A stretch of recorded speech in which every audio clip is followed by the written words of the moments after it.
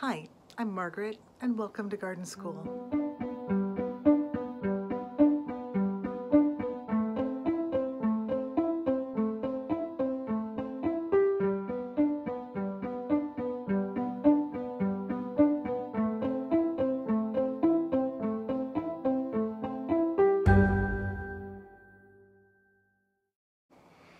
Well, after Thanksgiving dinner, the people gathered at my house go out to the garage where we've collected some greens and we have the materials to make wreaths.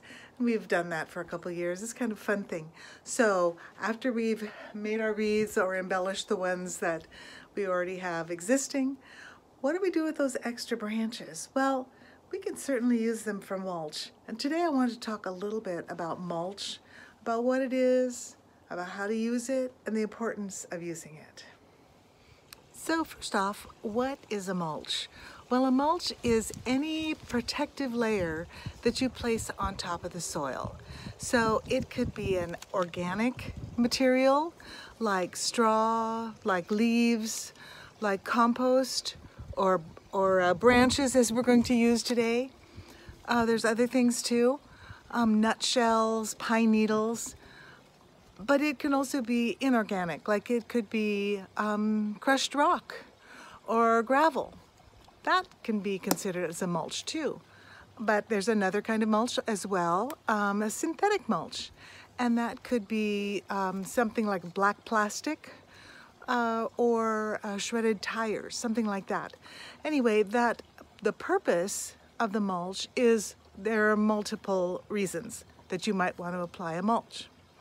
Today, we're going to use an organic mulch, um, branches, evergreen branches, and the main purpose is to mediate the temperature changes. So when it gets cold here in winter, we want some the soil area to be a little bit warmer and not to get too cold. So that's what we're going to use the mulch for today.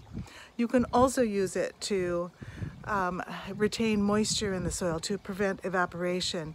And I've typically done that in the summertime in my vegetable garden. Another thing would be for weed suppression, to keep weeds down or to keep them from germinating, to keep the light off of them so they won't germinate. Um, there's also some other reasons too. But today, what we're going to do with these evergreen branches is mainly to mediate the temperature as it gets cold here in the winter. In this area, I divided some iris earlier this fall, and I wanted to protect the rhizomes as they're in here because they're just right there on the surface of the soil in between the the different rhizomes. There's just bare soil. So I wanted to protect them a little bit from erosion from maybe frost heave you know if it gets really cold and you know and just to keep the temperature up a little bit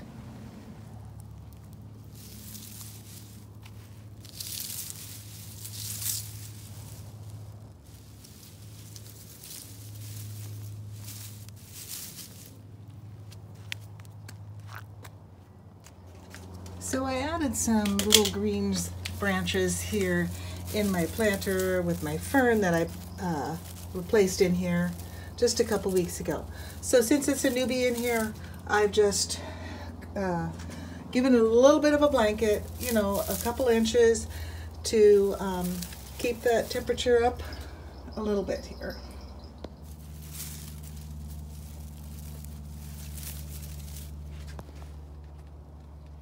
These are some planters with wire vine and this is the first winter they're going to be outdoors. That's the plan. And I'm not sure how they will do. I'm sure we'll have some dieback, but I'd like to retain the, the plant root itself. So I've just laid some branches on top of that and that should be good.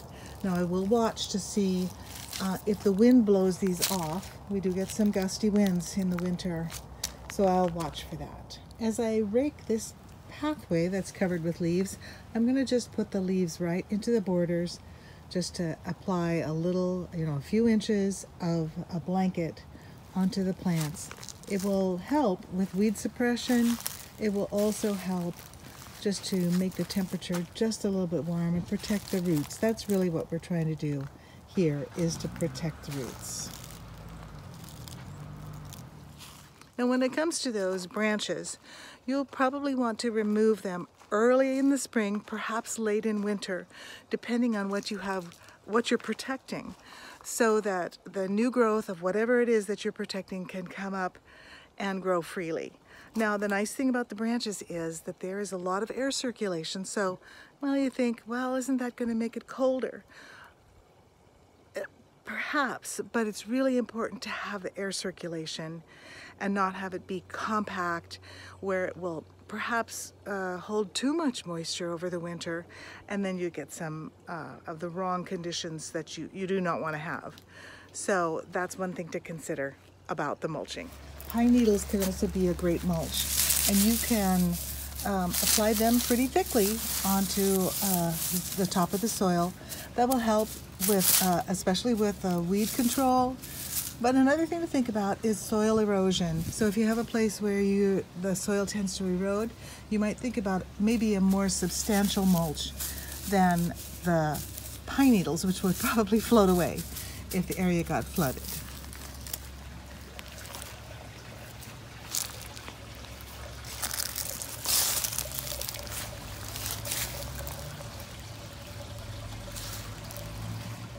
So if you're going to mulch something for the winter time, consider materials that you might have on hand. Maybe you have a plethora of leaves, dried leaves that have fallen. Go ahead and use those as mulch. Um, another thing is if you have those extra branches, those evergreen branches, consider using those. Those will be really easy to clean up too in the late winter. Just pick up those branches and, you know, as you see things starting to come up underneath easy cleanup. You can also use straw if you have a, a resource of, for instance, nutshells can also be a great mulch. So, but also consider your intention for mulching. Is it to protect from cold temperature? Is it weed suppression? Is it moisture retention? Or is it maybe just to improve that soil area? Now, a mulch can actually help with that in that um, if it's compost that you're mulching with, of course, that will incorporate some nutrients into the soil. But also it creates a better condition for fungi, the beneficial mycorrhizae, to develop and to thrive in an area like that. So just consider that when you're going to mulch. So if you're done with your wreath making or your pruning or whatever, consider using that as mulch. Well, there's always more to learn in the garden. Bye-bye.